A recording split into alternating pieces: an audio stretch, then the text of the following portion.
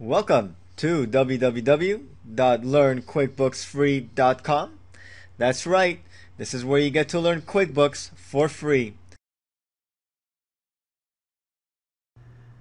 Hello and welcome to QuickBooks Online 2013.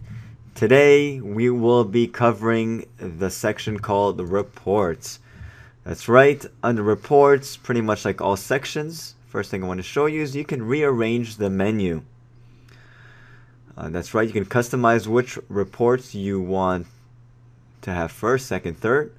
I'm okay with the default, but I did want to show you this one more time. I'm going to hit cancel for now, but you can rearrange this.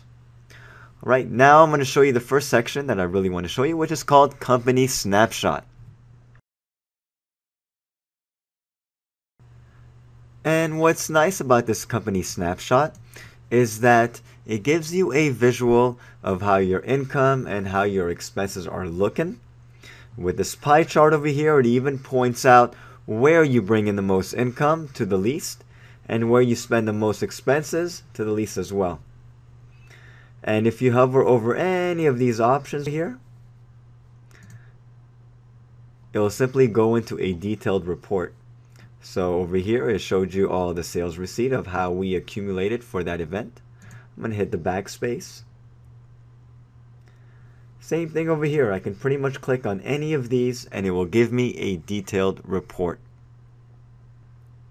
If I scroll down a little bit, the next two columns over here are previous year income comparisons. Now, because this is my first year tapping into QuickBooks Online, I don't have anything previous to show and I didn't really bring in all my stuff as I'm using this as an example. Uh, but the idea is that it will show you in January how much money you brought in versus this January. So it gives you a year to year comparison. Pretty cool stuff. If you scroll down a little bit more below, it's going to give you a quick glance of accounts receivable, who owes you money, and accounts payable, who do you owe money to. Of course, once again, I can click on any of these. It will give me a more detailed report and go right to it. And this is why I like Company Snapshot. Uh, it just gives you a really quick overview and really quick access to get to what you want to get to. Maybe not even realizing what you want to get to. So look at company snapshots. You may find some hidden treasure there. And the next thing I want to show you is the company scorecard. Unfortunately, it was working. It's not working now. QuickBooks is aware of it. They've been working on it. Uh, but the idea of the company scorecard is that it measures your company versus the industry. So, for example, if you're a CPA, is going to compare your business to all the other CPA businesses out there and let you know how you're doing, whether you're a rock star CPA or whether you're a rook and you better buckle up and go and get some more clients because you're behind the curve. You may just be okay with that, but at least it will let you know where you stand. Uh, check this out as soon as they have it working again, and we may bring this up in a later video. Next thing I want to jump into is report list. Anytime you're looking for a specific report, you can pretty much find everything over here on the report list. You have today, last five days, and of course the main thing, categories. So if I click customers, you'll see it'll go right into customers. I have all my different reports, vendors, sales tax, and so on. Uh, this is a really good place to look at all your reports. Okay. Now the last thing I want to show you is how to customize and memorize your report. So under company, I'm going to go to profit and loss. You will see I have my profit and loss over here. First thing I'm going to do is go to Customize. And under Customize, you'll notice on the right hand side it says General. Same thing on the left. If I hit rows and columns, it'll bump this up. Or I can use the scroll features to list, or if I hit list. So this makes it kind of easy to jump right where you want to jump into. And of course, feel free to update anything you want. Feel free to play with it.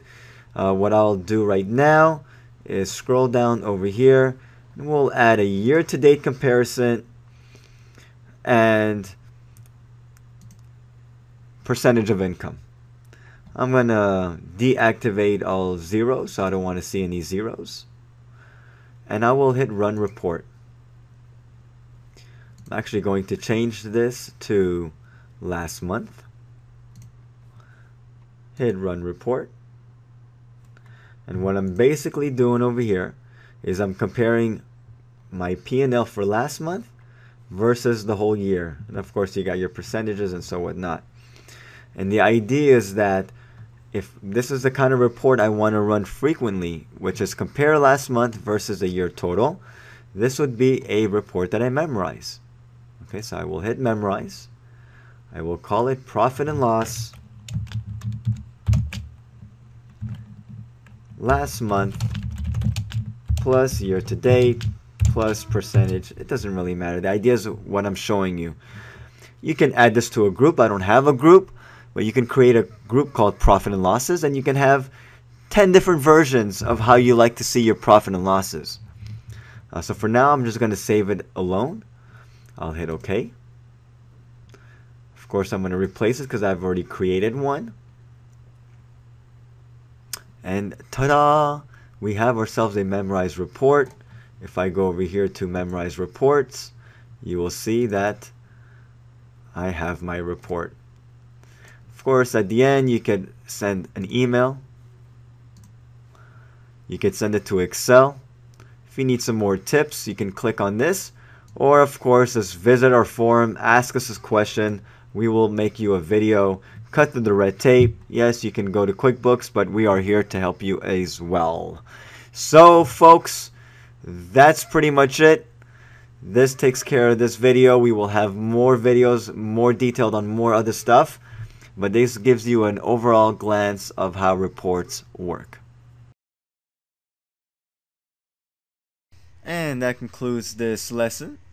Uh, you can visit our website at www.learnquickbooksfree.com to watch more videos.